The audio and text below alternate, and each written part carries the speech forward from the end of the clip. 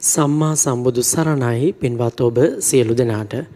සදහවත්නි කෙලෙසුන් නිසා භවයට ඇඳුණු සිත තථාගත ශ්‍රී සද්ධර්මයේ තුලින් යථාබෝධයෙන් දකිමින් මේ සසරින් නිවෙන්නට ඔබට මඟ කියා දෙන තවත් පින්වත් හෝරාවක් පූජනීය කෝරළයාගම සරණතිස්ස පින්වත් ස්වාමින්ද්‍රයන් වහන්සේගේ ගෞරවනීය වැඩමවීමෙන් මෙලෙස ආරම්භ කරන්නේ දහම් මුතුවැල දේශනා මාලාවේ දේශනාවක් ලෙස.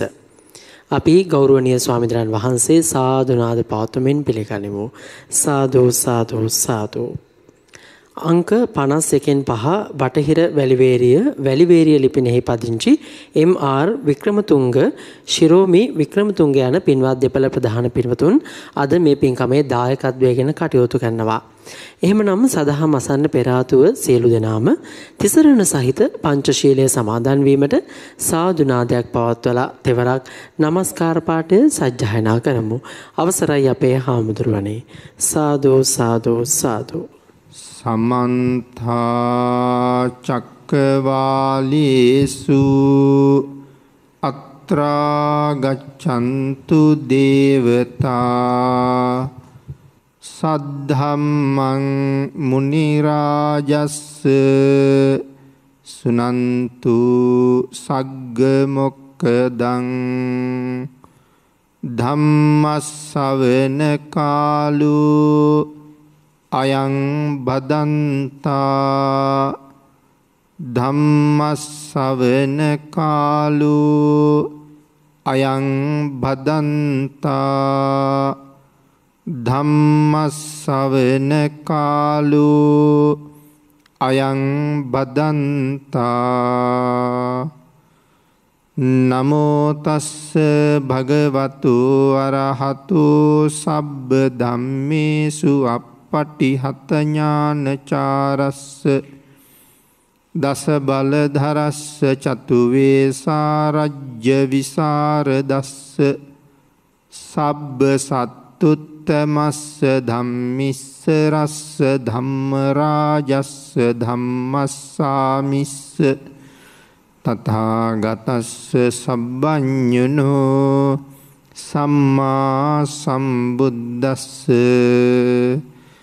නමෝ තස්ස භගවතු අරහතු සබ්බ ධම්මේසු අප්පටිහත ඥානචාරස්ස දස බලධරස්ස චතුවේ සාරජ්‍ය විසරදස්ස සබ්බ සත්තුත්තමස්ස ධම්මිස්ස රස්ස ධම්ම රාජස්ස ධම්මස්සාමිස්ස තථාගතස්ස සබ්බඤුනෝ සම්මා සම්බුද්දස්ස නමෝතස්ස භගවතු අරහතු සබ්බ ධම්මේසු අපපටිහතඥානචාරස්ස දස බලධරස්ස චතුවේ සාරජ්‍ය විසරදස්ස සබ්බ සත්තුත්තමස්ස ධම්මිස්ස රස්ස ධම්මරාජස්ස ධම්මස්සාමිස්ස තථාගතස්ස සබ්බඤුනෝ සම්මා සම්බුද්දස්ස සද්ධර්ම ශ්‍රාවක සදහවත් කාරුණික පින්නතුනි බොහෝම ශ්‍රද්ධාවෙන් යුක්තව සියලු දෙනාම සූදානම් වෙන්නේ තිලෝගුරු ශාන්තිනායක සම්මා සම්බුදුරජාණන් වහන්සේ විසින් ලෝක සත්වයන් පිළිබඳව මහත් වූ දයාවෙන් කරුණාවෙන් මෛත්‍රියෙන් යුක්තව අවබෝධ කරගෙන දේශනා කොට වදාළ පරම ගම්බීර වූ ශ්‍රී සද්ධර්ම රතනයෙන් බොහෝම පුංචි කොටසක් දේශනා කරවගෙන ධර්ම ගෞරවය පෙරදැරි කරගෙන දේශනාගත ධර්මය ශ්‍රවණය කරන්නත් එසේ ධර්ම ශ්‍රවණය කිරීමෙන් ලැබෙන අවවාද අනුශාසනා තම තමන්ගේ ජීවිතවලට එකතු කරගෙන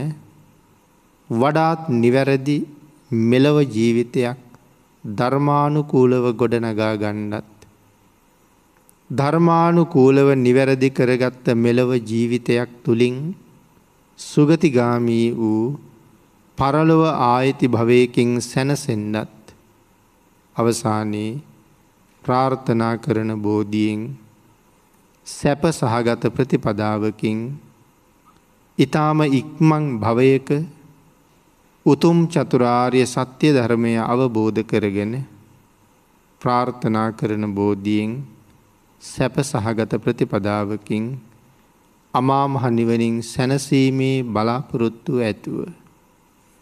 ඒ උතුම් බලාපොරොත්තු උතුම් ප්‍රාර්ථනා එලෙසින්ම මුදුන්පත් වේවා කියලා ආශිර්වාද කරනවා. පින්නතුනි අද ධර්මානු ශාසනාවේ මාතෘකාව හැටියට මම යොදාගන්න කල්පනා කළේ අපේ භාග්‍යතුන් වහන්සේ දේශනා කොට වදාළ විමානවත්තු පාලියේ සඳහන් වන තවත් විශේෂිත වූ විමානවත්තුවක්. පින් දීම වගේම පින් අනුමෝදංවීම මේ ජීවිතයට කොයි තරං වටිනවද කියන කාරණාව තමයි මේ විමාන කතාවෙන් විශේෂයෙන් අපිට පැහැදිලි කරලා දෙන්නේ. පින් අනුමෝදන් වීම කියන එක කොයි තරං වටිනවද කියලා. ඒ කාරණාව පැහැදිලි කරන්න දේශනා කරන විමානවත්තුවේ නම තමයි විහාර විහාර විමානවත්තුව.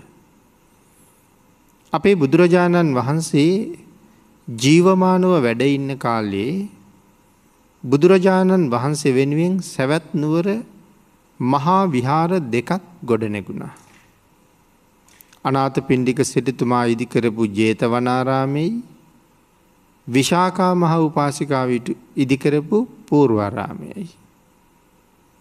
ඉදි මේ පූර්වාරාමයේ පදනම් කරගෙන තමයි මේ විහාර විමාන කතාව ගොඩනැගෙන්නේ. විශාකා මහ උපාසිකාවට එක දවසක් ඇගේ යෙහෙලියෝ පන්සියයක් පමණ දෙනා ඇවිල්ල කතා කරනවා උයන් සිරි නරඹණ්ඩයන් කියලා. ඔවුන්ගේ ඉල්ලීමට ඇහුම්කං දුන්නත් මහව් පාසිකාව කියන්නේ සෝවාන් වෙච්ච ආර්ය උපාසිකාවක්. ඉඳ සාමාන්‍ය දේවල් ඇයට ඉතරං ලොකු වැටිනාකමක් නෑ. ඇය කල්පනා කළා මේ බාල දැරියෝ විනෝද වෙන්ඩ යන්ට මට කතා කරනවා. නමුත් මංවාගේ කෙනෙකුට ඒක තරම් මදි. ඒ විනෝද වෙන්ඩ ගත කරන කාලී භාග්‍යතුන් වහසගෙන් බණපදයක් ඉගෙන ගණ්ඩ තිබ්බනං කොච්චර වටිනවද කියලා. ඉහෙලියෝ පන්සිය දෙනත් එක්කම තමන්ගේ මාලිගාවෙන් එලියට ආවත් මගට ඇවිල්ල ඔවුන්ට කියනවා මම යනවා බණහන්ඩ ඕගොල්ලො යන තැනක ගෙහිල්ල බණයිවර වෙනකොට එන්ඩ කියලා. සමහරාය එතුමියත් එක්ක බනාහන්ඩ වාඩි වෙන්න ඇති. මහවපාසිකාවට කොහොමත් තමන්ගේ තාත්තගෙන් ලැබිල තිබුණනේ පලඳනාවක් ඒකට අපි කියන්නේ මහලිය පලඳනාව කියලා. අපේ ශාසනය කීප දෙනෙකුට විතරයි ඔය පළඳනාව ලැබෙන්නේ. එයින් එක්කෙනෙක් විශාකාව. ගෙලේ පැළඳුව හම පිටිපතුළ දක්වාම දිගයි. සත්‍රුවන් වලින් තමයි නිර්මාණය කෙරෙන්නේ. බරයි කියල සඳහන් කරනවා ඇත්තු පස්දෙක් තරම් බරයි. ගැන මේ මාලයේ පලඳින කෙනාට එච්චර ශක්තිය තියෙන්ඩ ඕනේ. එතවට පින්නතින හිතෙන්ට පුළුවන් කාන්තාවන්ටත් එහෙම ශක්තිය තිබුණද කියලා. වර්තමානය ඔය ශක්තිය ගැන කතා කරනකොට හරියට දේනවා ප්‍රශ්නය. භාග්‍යතුන් වහන්සේගේ කායි ශක්තිය පිළිබඳවත් සැකයින්නේ. ඉති ඒවාගේ මේවාගේ ශක්ති සමුදායන් කියනකොට අපිට එහෙම ශක්තිවන්තයෝ කවදාවත්ම මුණගැහිල නැතිහින්ද අපිටත් එච්චර ශක්තියක් නැතිහින්දා ඔය ශක්තියෙන් ගැන අපිට තියෙන පුදුමාකාර සැකයක්. ඒ පින්නතන අපේ මනසින් හිතන කොටන. නමුත් ධර්මය සඳහන් කළේ කාය ශක්තිය වැඩි කරන්නේ දානය නිසා. අන්න දෝ බලදෝ හෝති. ආහාර දුන්නහම බලය ලැබෙනවා.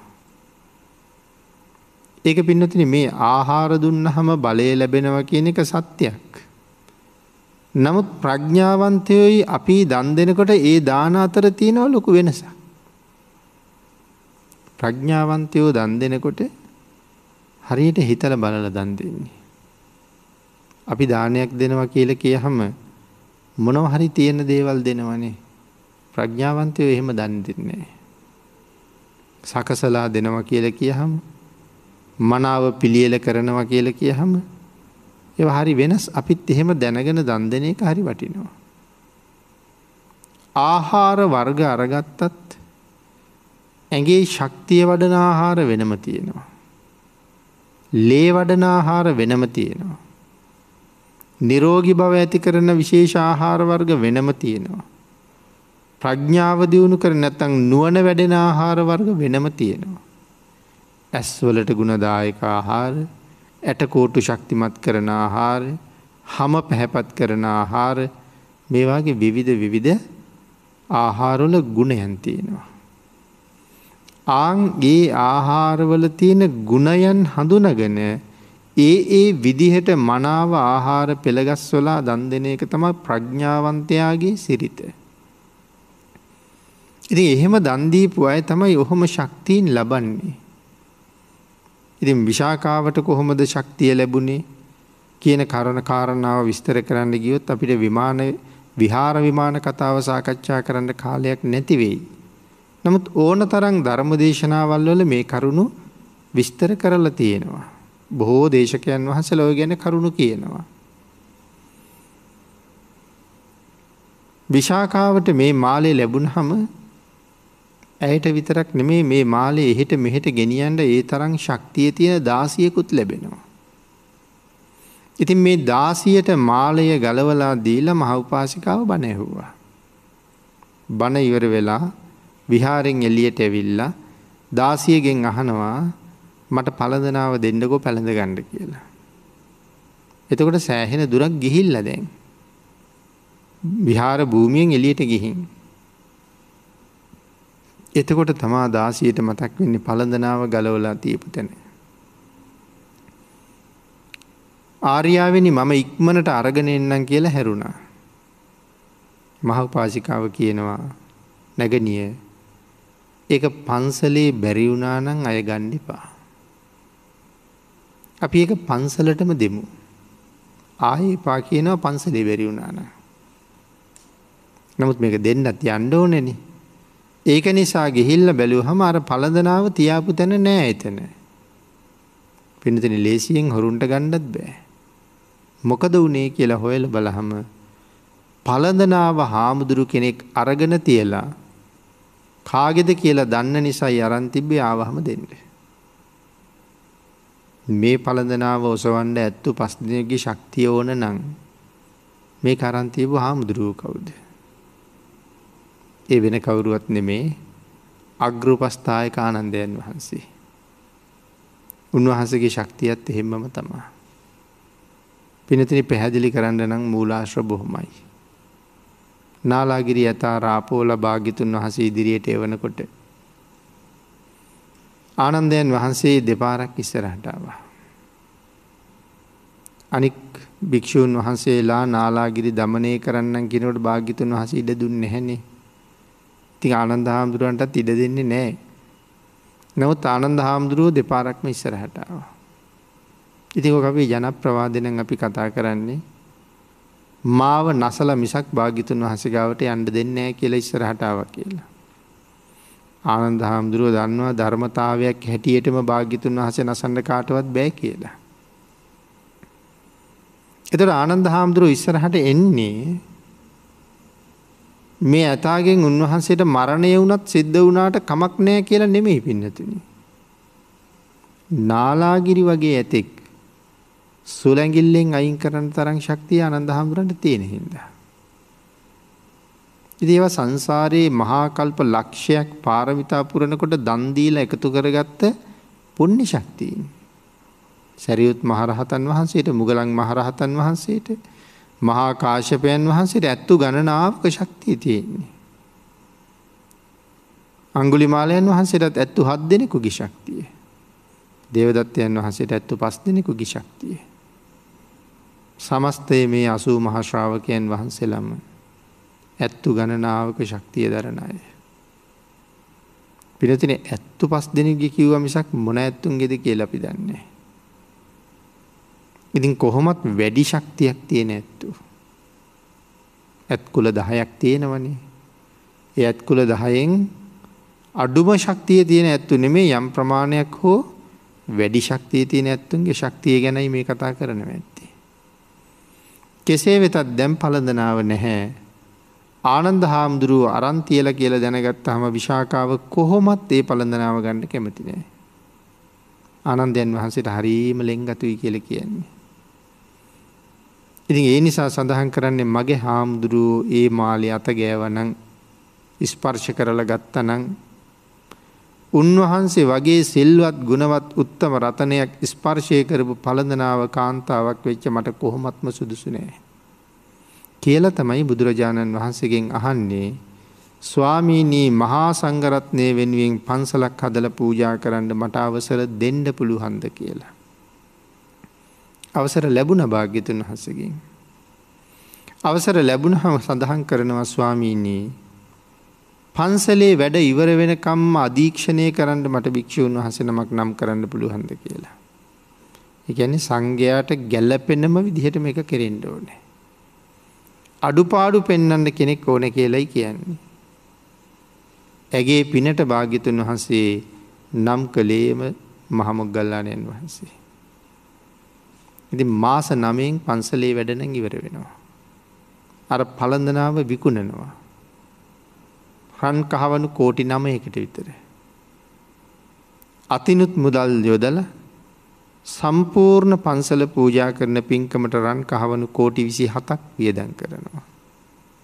කහවනුවක් කියල කියහම වර්තමානය පවුමක් තරං වටිනවා. එවන් කහවනු විසිහත් කෝටියක් රුපියල් වලින් මිලකිරුවත් අපිට තේරෙන්නෙත් නෑ. පන්සලේ සියලු වැඩ ඉවර කරලා පන්සල පූජා කරන දවස. පිනතින මේ විහාර ඉදි කරලා තිබුණෙ කොහොමද කියන එක අනුමාන කරලවත් අපිට හිතාගණ්ඩ බැරුව යනවා. මොකද මේ පූර්වාරාම විහාරයේ හැම කුටියක් කුටියක් ගානෙම යොදල තිබිච්ච හැම පාපිස්සක්ම. කහවනු ලක්සකට වඩා වටිනවා කියනවා. එක මුලාශ්‍රවලින් කියල තියෙනවා එක තැනැත්තියක් විශාකාව උපාසිකාවගේ යෙහෙලියක් පින්කමට පිරිකරක් පූජ කරන්න දෙනවා. පිරිකර ගෙනල්ලා මහුපාසිකාවගේ අතටම තමයි දෙන්නේ. අපිත් ගෙදරක පින්කං තියෙනකොට අපිත් පිරිකරරං යනවනේ ඒ වගේ පින්කමට පිරිකරක් ගෙනවා. මහ උපාසිකාව පිරිකර ලෙහෙලා එලියට අරගෙන බැලුවා. බලාම හිතට නම් මදී. ඇගේ තරමට ඒක පූජ කරන්න ඇයට මදී. නැවත උරේටම දාලා තිබුණ තැනටම දාලා යෙහෙලියගේ අතට දෙනව නැගනිය නුබට සුදුසු තැනක පූජ කරන්න. අකමැත්ත පෙන්වේ නෑ නුබට සුදුසු තැනක නුබම පූජ කරන්න කියල දුන්නා. මේ පන්සලි කුටි දාහක් තියෙනවා දෙමහල් පන්සලා. යටමාලිකුටි පන්සීයටමත් ගියා උඩුමාලිකුටි පන්සීයටමත් ගියා ඇයට ඇගේ වස්තරය තියන්න තැනක් නෑ. දුක හිතුනා. අඩන්ඩ ගත්තා. එතකොට ආනන්ද හාමුදුරුව දැක්කා. ළඟට ගෙල් ඇහුව නැගනී ඇයි අඩන්න කියලා. ස්වාමිනි පිරිකරක් නම් ගෙනාව පූජ කරගණ්ඩ මගේ යෙහෙලිය කැමති තැනක මේක තැන්පත් කරන්න කිව්වා නමුත් ඉතින් මට එහෙම තැනක් නන්නෑ කියල කිව්වා. එහෙම කියන්න හේතුව මොකක්ද. අන්න එතන තමා විස්තර කරන්නේ හැම දොරක් දොරක් ගාවම තියෙන පාපිස්සක් කහවනු ලක්සකට වඩා වැඩි. පාපිස්ස කහවනු ලක්සකට වඩා වැඩි නං අනික් අභ්‍යන්තර උපකරන ගැන කතා කරන්න දෙයක් අපිට ඉතුරු කරලා නෑ. ඒක නිසා තමයි ඇයට මේක තියන්ට තැනක් නෑ කියන්නේ. හැබැයිතින් ආනන්ද හාමුදුරුව දකිනවා මහවපාසිකාවට පිරිකරක් යොදන්නම ගැන පාපිස්සක් යොදන්න අමතක වුණ තැනත් තිබ්බා. ඒ තමයි සංගරතනයේ පාද දෝවනය කරලා ඉස්සරලාම පන්සල්ට අඩිය තියෙන තැන. ඒ නිසා අයට සඳහන් කලා නුබේ වස්ත්‍රයේ අන්න අහවල් තැන පාපිස්සක් කරලා එලන්න කියලා. පිනතින අපිට හිතෙන්න පුළුවන් පාපිස්සටත් එහෙම වියදැන් කරන්න මුදල් තිබ්බත කියලා. මේක ලෝකෙ දියුණු කාලෙ නෙමේනේ. මේ ලෝකෙ පිරිහෙන කාලේ. ලෝකෙ දියුණුව තිබුණේ භාග්‍යතුන් වහන්සගේ කාලේ. පුුණ්‍යවන්තයෝ වැඩියෙන්ම හිටිය ඒ කාලේ. ජටිල සිටතුමා කහවනු ලක්ෂයක් වටින වස්තරයක් අරගෙන වෙලින්දු යවනවා එක විකුණන්ඩ කියලා. එක විකුණන්ඩ සිටිතුමාට ඕනකමක් නෑ සිරිතුමාට මහන වෙන්න ඕන වෙලා. නමුත් ඉතින් මහසිටුවරයකුට තමන්ට හිතන විදිහට මහන වෙන්න බෑපින්නතුනි. මොකදේ සිටුවරයෙක් යටතේ දස් ගණන් වැඩ කරන කම්කරුව ඉන්නවා. සිටතුමා මහන වෙනවා කියලා කියන්නේ කම්කරුවන්ට ජීවත්වෙන්ට විදිහක් නැතුවෙනවා. ඒ නිසා තමන්ට වඩා දනවතුන් ඉන්නවද කියලා හොයල බලලා තමන්ට වඩා උසස් ධනවතුන් ඉන්නවනම් මහන වෙන්න තමයි මේ ධනවතුන් හොයන්ට තම හදන්නේ. මේ කහවන් ලක්ෂයක් වටින වස්ත්‍රය විකුණගෙනෙන්ට කියනවා. ඉති මේගොල්ලො ටිකක් ඇවිදිනව කවුරුවත් මේ වස්ත්‍රය ගන්න නැහැ. ඔවුන් කල්පනා කරන හොරු දැනගත්තොත් අපිව මරල මේ කාරන් යනවා. එ කරන්න දෙයක් නෑ මේක පුච්චමු කියලා. ගිනි ගොඩක් ගහල පුච්චන්ඩ ලෑස්ති වෙනකොට පිරිසක් ඇවිල්ල හන මොකද කරන්න හදන්නේ. කතාව කියනවා ඊට පස්සේ. මේක පුච්චන්ඩ හදන්නේ කියලා. එදට සඳහන් කලා පුච්චන්ඩිපා. අරං එන්නක අපේ සිටු මාලිගාවට කියලා එක්ක යනකොට ජෝතිය සිටතුමා ඉස්සරහම ඉන්නවා. අර පුරුෂයෝ කතාව කියනවා. කහවනු ලක්ෂයක් වටිනවා. නමුත් මේක ගණ්ඩ කෙනෙක් නෑ. හොරු දැනගත්තොත් අපිට ජීවිත අවධානමක් තමයි තියෙන්නේ. පුළුස්සලා දාලා යනව කියල කිවා. සිටතුමාට එහා පැත්තෙන් අමදිනවා මාලිගාවේ සේවිකාවක්. සිටතුමාර පුරුෂයන්ට කියනවා ඔය වස්තරය අර තැනැත්තියට දෙන්න කියලා. වස්ත්‍රය ඇයට දුන්නහම බාණ්ඩාගාරිට පණිවිඩයක් යවනවා කහවනු ලක්ෂ ගෙනල්ල මෙයාලට දෙන්න කියලා. ඔවුන් සල්ලි අරන් ගියාට පස්සේ අර දාසිය වස්ත්‍රයත් අරගෙන සිරිතුමා ගාවට ඇවිල්ල අඩ හඬ අහනව ස්වාමීනී දැනගෙන නං වරදක් කළේ නෑ නොදැන මගෙන් මොකොවත් වරදක් උනාද කියලා. සිරිතු මහනො ඇයි එහෙම අහන්න කියලා. ඔබ වහන්සේ කවදාවත් සිරිතුමනි මට මෙහෙම සල කලා නෑ. මේ තරම් බාලවස්තරයක් මට තෑගි කරලා එව් ඇයි කියලෙහවා. පිනතින කහවනු ලක්ෂයක් වටින වස්ත්‍රය. මේ අහන්නේ දාසිය මේ තරම් බාලවස්ත්‍රයක් මට දුන්නේයි කියලා. ජෝතිය සිටතුමා කියනවා නුබට ඕක ඇඳගණ්ඩ දුන්න නෙමෙයි ඇඳගාව පාපිසර දාගණ්ඩ දුන්න කියලා. එතකොට ජෝතිය මාලිගාවේ ජාත් දාසියාන්දින වස්ත්‍ර කොහොම වෙන්න ඇද්ද. අමිත බෝගී සිටුවරු. තමන්ට තියෙන දනස්කන්දය කොපමණද කියල දන්නේ. සංසාරි දන්දීලා. තවත් අමිත බෝගි සිටුවරේක් මෙන්ඩක සිටතුමා විශාකා මහුපාසිකාවගේ සීයා හාල් පතක් උයලා පස් දෙනෙකුට බෙදලා ඒකෙන් තමන්ට ලැබුණ ටික දන්දීල තමයි එච්චර ආනිසංස ලබන්නේ. නමුතින් හාල් පතක් පහට බෙදලා ඒකෙන් කොටසක් දන්දීල එච්චර ආනිසංස ලැබෙනවාද. පින්නතන දෙන්ඩ බැරි වෙලාවක තමයි දුන්නේ. ඉතින් ඒව දීර්ඝ කාරණා. එනිසා අපිට සැක උපදිනව නම් ධර්මය යම් තැනක හැම සැකයක්ම නිරාකරණය කරන්න මේ ධර්මය ඇතුළි මූලාශ්‍රතියනවා. හඳ ධර්මය සැක කරන්න නෙමෙයි තියෙන්නේ. ධර්මය නැමති යාත්‍රාව යොදාගෙන සංසාරය නෙමති සාගරයෙන් එතරට යන්ට. ඉති මේ පන්සල පූජා කරන දවසේ මහවපාසිකාව තමන්ගේ යෙහෙලියෝ පන්සිය දෙනාටම කතා කළා.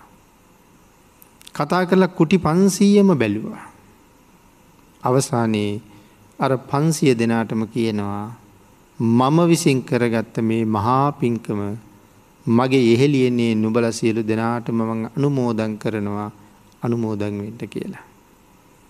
සියලුම යෙහෙලියෝ ඒ පින්කම අනුමෝදන් වුණා එක එහෙලියක් පන්සල හදන්ඩ මුලාරම්භ කරපු තැනයින්තලා. බිත්ති වඳින වෙලාවේ වහලි හදන වෙලාවේ හුණු පිරියම් කරන වෙලාව මේ සියල්ල පියවරෙන් පියවර පියවරෙන් පියවර මෙනෙහි කර කර අනුමෝදන් වුණා. අන්තිමේ මරණින් මත්තේ ඇ තවතිසා විපදුනා. අනුරුද්ධ මහරහතන් වහසේ තවතිසාාව වැඩියහම යොදුන් ගණන් ඈතට ආලෝකයේ විහිදවන විමානයකුත් යොදුන් ගණන් ඈතට ශරීරයෙන් ආලෝකයේ විහිදෙන විවිධ වූ දිව්‍යමය සැප සම්පත් සහිතව දිව්‍ය ආශ්චර්යෙන් බැබලෙන දිව්‍යහංගනාවක් දැකලා ළඟට ගිහිල්ල කතා කරලා අහනවා මනුලොව ඉන්න කාලෙ මොන වගේ පින්කං කරලද මේ තරං ආශ්චර්යමත්ව මහානු භාව සම්පන්න වනේ කියලා. ඒදිව්‍යාංගනාව තමයි කියන්නේ ස්වාමීනී මම විසින් කරගත්ත මහ පින්කමක් නන්නේ. නමුත් සැවත්නුවර හිටිය මගේ යෙහෙලියක්. සාවත්තියන් මයිහං සකී බදන්තිී. ස්වාමීනි සැවැත්නුවර හිටියා මගේ එහෙලියක් සංගස්ස කාරයේසි මහා විහාරං. ඇය මහා සංගරත්නය වෙනුවෙන් මහ පන්සලක් හදල පූජ කරලා ඒ පින අපිටත් අනුමෝදන් කළා. ආංගේ පින මුල ඉඳලා සිහිපත් කර කර පියවරෙන් පියවර මං අනුමෝදන් වුණා. ඒ පින් අනුමෝදන් වීමේ ප්‍රතිඵලයක් හැටියට තමයි මන් තවතිසාාවටාවේ. මං පින්කං කරලා නෙමේ. අනුන් දුන්න පිනක් අනුමෝදන් වෙලා. ඉති මේ කාරණාව ඇයගෙන් දැනගෙන අනුරුද්ධයන් වහන්සේ භාගිතුන් වහන්සේරත් මේ කාරණාව කියනවා. එතකොට අන්ගේ අනුන්ගේ පින අනුමෝදන් වෙලා දෙව්ලව කොයි තරං දිව්‍යමය ආශ්චර්යයක් ලැබුවද ඒක පින් අනුමෝදන් වීම නිසා ලබාගත් ආශ්චර්යයක්. කියන කාරණාව අපිට පැහැදිලි කරලා පින් අනුමෝදන් වෙනව කියන එක හරියට කරගන්න කියල කියනවා. පින් අනුමෝදන් වෙනවා කියහම ඕක පින්නතිනේ දස පුුණ්‍යයක් ක්‍රියාව විස්තර කරන්නේ පත්ති පත්තානුමෝදනා. පින් දීම සහ පින් අනුමෝදන් වීම මේ දෙකම දසපුුණ්‍ය ක්‍රියාවන්ට තමයි අයිති වෙන්නේ. එතට කොහොමද පින් අනුමෝදන් වෙන්නේ හොඳ නුවනක් තියෙන්ඩුවනේ. පින් දෙනවා කියල කියන්නේ මේ ලෝකෙ කෙනෙකුට දෙන්ඩ තියෙන දේවල් අතර උතුම්ම දේ තමයි පින. පිනතෙන රංග්‍රදී මුතුමැනික් දුන්නහම මිලක් තියෙනවා. ඇඳුම් පැළඳුම් ගෙනහිල්ල දුන්නහම කාලෙකෙදි දිරල යනවා. රසමුසු ආහාර ගෙනහිල්ල දුන්නහම මොහොතකින් මළමුත්‍ර වෙනවා. පින් දුන්නාම එම නෙමේ දිව්‍ය ලෝකයේ දිව්‍ය සම්පත් මනුස්ස ලෝකයේ මනුස්ස සම්පත් ඒ විතරක් නෙමේ නිවන් සම්පතත් ලබාගණ්ඩ ඒ පින උපකාර වෙනවා. එඳ කෙනෙකුට පින් දෙනකොට ඒක හරි ගෞරවනීය විදිහට දෙන එක හරි වටිනවා. බද ලෝක දෙන්න තියෙන හොඳම දේන්නේ. එක හරි ගෞරවයෙන් දෙන්න ඕනේ. අපි රත්තරං මාලයක් වලල්ලක් මුද්දක් වගේ දෙයක් හදාගණ්ඩ ගියහම රන්කරුවා වැඩ ටික නිමා කරලා අපිට ඒක කඩදාසි කොලේ කොතල දෙන්න පින්නතුනි. ඒ බාණ්ඩයේ වටිනාකමට ගැලපෙන මංජුසාවක් හදලා ඔහුගේ ආයතනයේ නමත් ඒක සනිටුහන් කරලා බොහොම ගෞරෝණීය විදිහට තමයි ඒ උපකරන ඒ භාණ්ඩය අපට දෙන්නේ. සමහර කෙනෙක් අහන ප්‍රශ්නයක් දෙවියන්ට පින් දෙනකොට වඳින්ඩෝ නැද කියලා. පිනතින මංකීවන්නේ වටිනා දෙයක් අපි ගෞරෝණීය විදිහට දෙමු කියලා.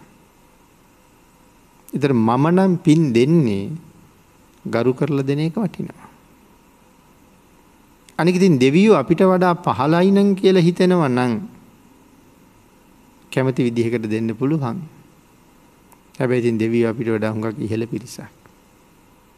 පහත් කෙනෙක් හැටියට මම උසස් කෙනෙකුට යමක් දෙනකොට කොහොමත් දෙන්නේ ගරු බොහොමන් දක්වලා. එයිද වැඳගෙන පින් දෙන එක කොහොමත් බටිනවා ප්‍රායෝගිකයි ප්‍රඥාගෝච්චරයි. පින්නතන අපිට නොයෙක් තැන්වල මිනිස්සු පින්දෙනවා.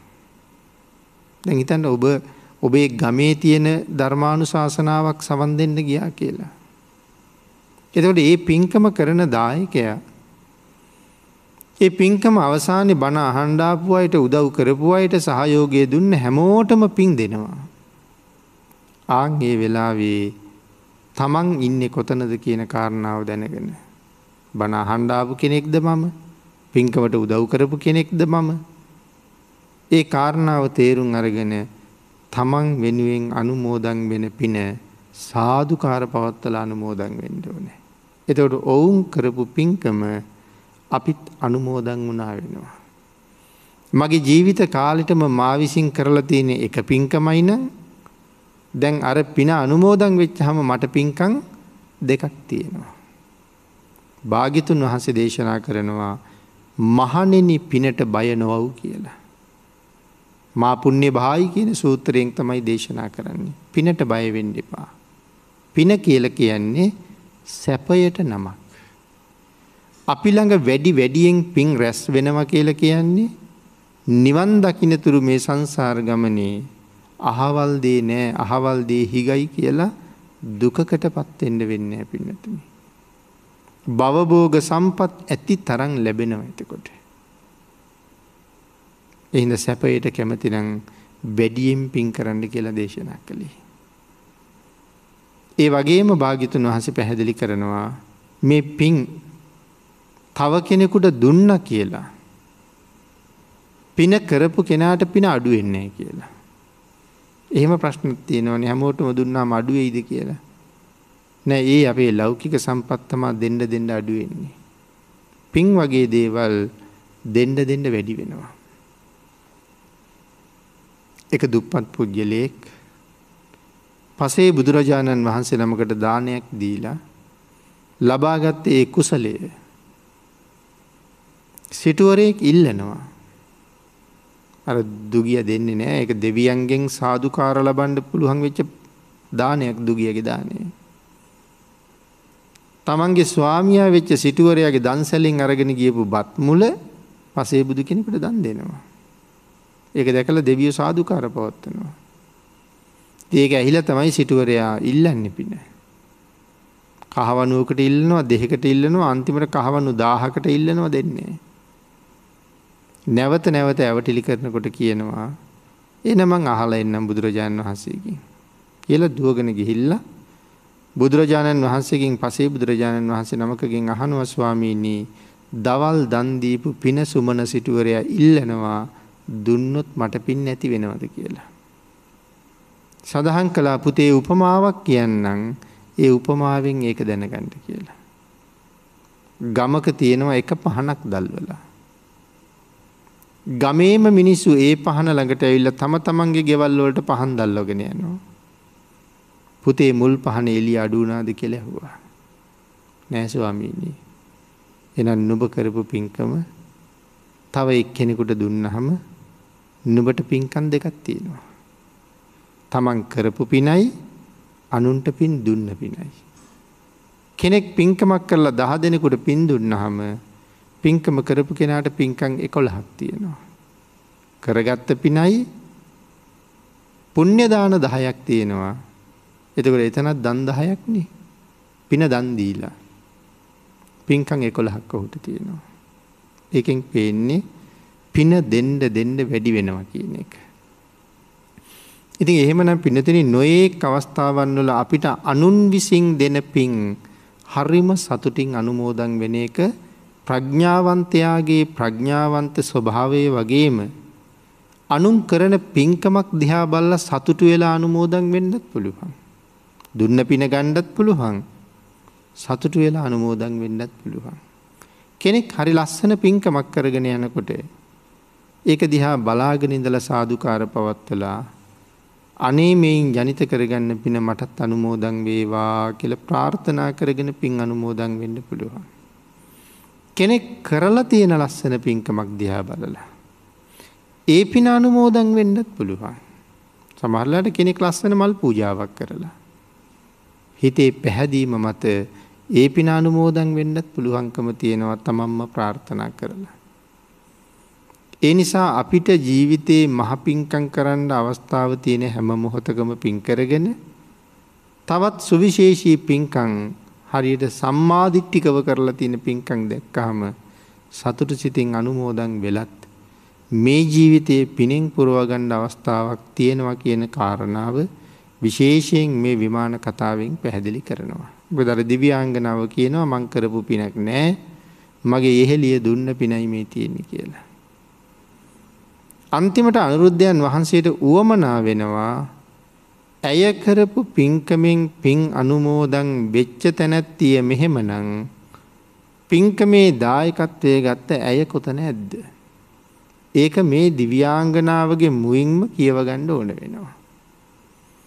එහෙම හිතල අනුරුද්ධයන් වහන්සේ අහනවා දෙව්දියනිය නුබටත් පින් දුන්න. ඒ මහපන්සල කරල පූජා කරපු විශාකාව දැන් කොහෙද කියලා. සඳහන් කරනවා ස්වාමීනී ඇය නිම්මාන රතියේ ඉපදිලා ඉන්නවා. අනුරුද්ධයන් වහන්සේ නොදන්නව නෙමේ නමුත් මෑගෙන්ම අහගන්න ඕනේ. ඇයි ඉන්නේ නිම්මාන රතිය කියල කියනවා. සුනිර්මිත කියන දෙව් රජ්ජුරුවන්ගේ අග්‍ර මහේෂිකාව වෙලා ඉන්නවා කියල කියනවා. නිම්මාන රතිය කියල කියන්නේ පස්වෙනි දිවිය තලේ. ඇඒකට නිම්මාන රති කියල කියන්නේ.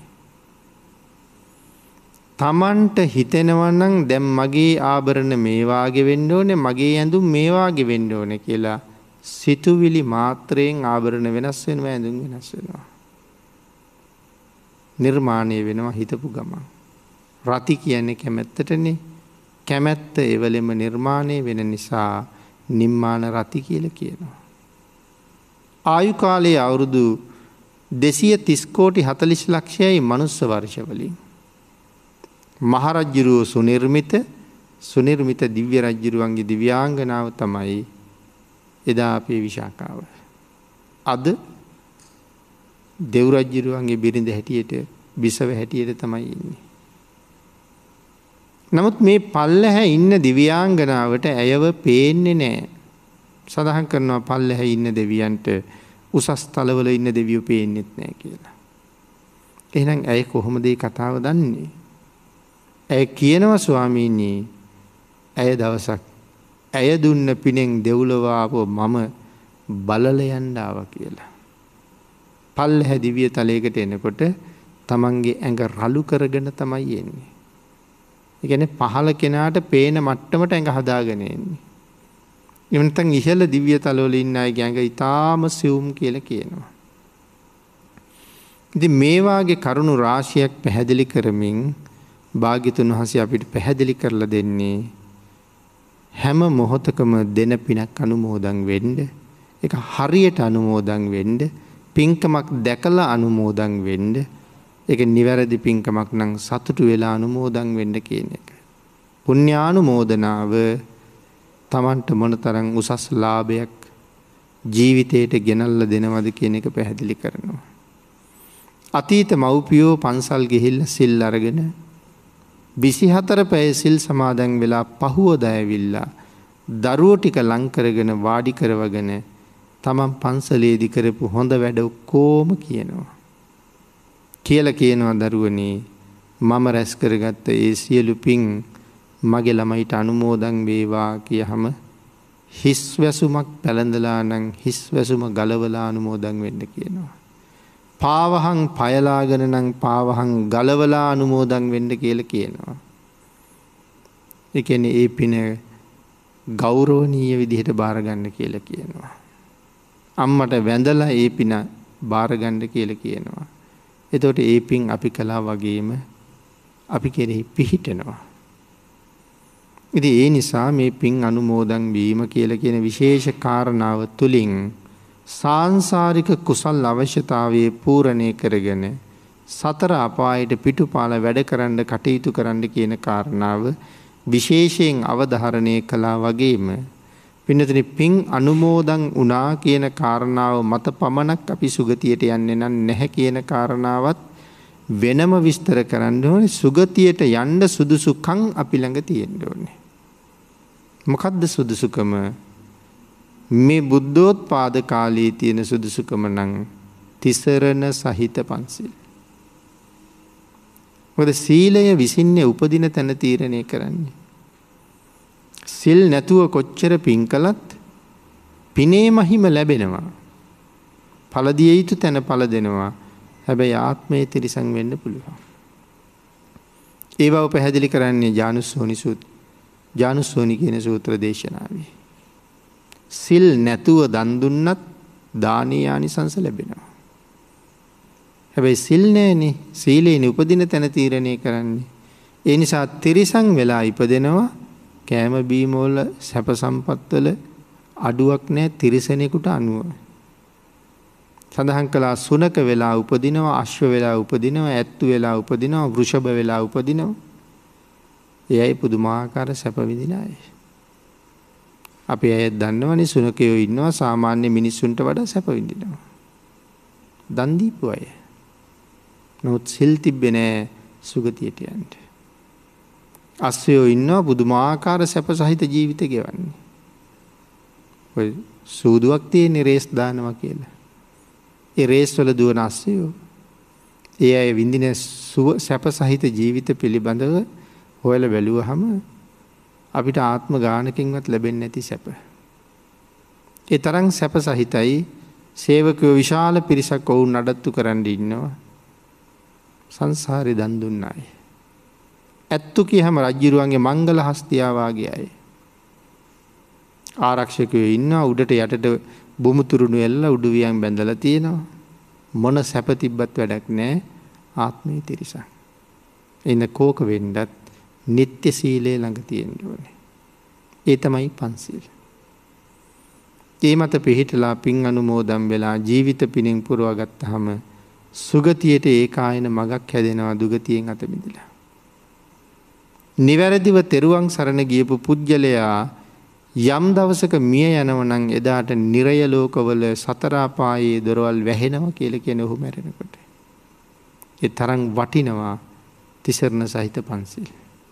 ඒ උතුම් සීලයේ මත පිහිටලා තමන්ද පින් කරගෙන පින් අනුමෝදං බෙමින් ජීවිතයේ පිනෙන් පුරෝලා සතරාපායට පිටුපාලා නිවන දක්වා සුගතියෙන් සුගතියටම ගමන් කරලා සැප සහිතවම අමා මහන් නිවනින් සැනසෙන්ඩ මේ කරුණු ජීවිතයට එකතු කරගෙන තම ජීවිතයත් පිනෙම් පුරුවගණ්ඩ භාග්‍යවාසනාව උදාකර ගනිත්වා කියලා ආශිර්වාද කරනවා. සැදැහැවත් පින්නතුනී ධර්මාණු ශාසනාවේ දායකත්වය දරුණු ලබන්නේ එම්.ආර් වික්‍රමතුංග මහත්මා ශිරෝමී වික්‍රමතුංග මහත්මිය අංක පනස්සකෙන් පහ බටහිර වැලිවේරිය වැලිවේරිය ලිපිනෙහි පදිංචි ඒ සැදැහැවත් මහත්මා මහත්මිය දෙපලයි මේ උතුම් පින්කමේ දායකත්වය ගැන කටයුතු කරනු ලබන්නේ. උතුම් අරමුණු හැටියට සිහිපත් කරනවා මොරිස් වික්‍රමතුන්ග මහත්මාගේ පියාණන් එතුමන්ගේ මෑනියන් වන ඒවගේම ඉයන්ත වික්‍රමතුන්ග සොහයුරා සංජීව අනදාදී සොහොයුරා වෙල්මන්ට් අනදාදී පියාණන් බල් ධර්මවතී මෑනියන් කේජී ජේමිස් අපපුහාමී පියාණන් නිදන ප්‍රාප්තියට පත් වන දෙදෙනගේම දෙමව්පියන්ටත් සහෝදරයින්ටත් උතුම් සද්ධර්ම දානමය කුසල කරමය අනුමෝදං වේවා කියල පින් අනුමෝදං කරන අතර SG රෝසින් මහත්මිය දිනිදු ශිහාන් වික්‍රමතුංග පුතනුවන් ගිහාන් සාරංග පුතනුවන් ශිරෝමන් ශිරෝමණී මහත්මිය ගිහාන් සාරංග පුතනුවන්ගේ අගෝස්තු දහනමෝන දිනට යෙදෙන විසි හත්තන උපන්දිනය නිමිති කරගෙන පුතානන් පුතාටත් ආශිරුවාද කරනවා. සොකී ෆාමා ආයතනයේ සියලුම සේවක මහත්ම මහත්මීන්ටත් දේශකයාණන් වහන්සේටත් සෙත් ප්‍රාර්ථනා කරන අතර උන්වහන්සේගේ උතුම් ප්‍රාර්ථනාවන් මුදුන්පත් වේවා කියලා පින් අනුමෝදන් කරලා බොහෝම කල්යාණ මිත්‍රත්වයෙන් අපටත් ආශිර්වාද කරනවා. ඒවගේම මාගේ උතුම් ප්‍රාර්ථනයේ චතුරාරි සත්‍ය ධර්මය අවබෝධ කර ගැනීම පිණිසම මේ ධර්මදානමේ පින්කම හේතු වේවා කියලා ප්‍රාර්ථනාව සිහිපත් කරලා තියෙනවා.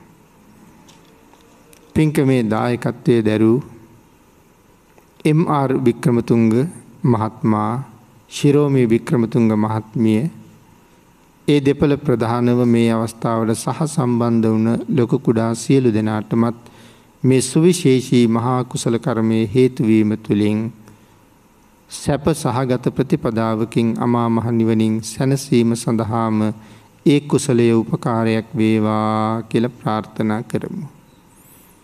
ආකාසට්ඨා ච බුම්මට්ඨා දේවා නාග මහිද්దికා පුඤ්ඤන්තං අනුමෝදිත්වා චිරං රක්කන්තු ලෝක සාසනං දේවෝ වස්සතු කාලේන සස්්‍ය සම්පatti හෝතු ච පීතෝ භවතු ලෝකෝ ච රාජා භවතු ධම්මිකෝ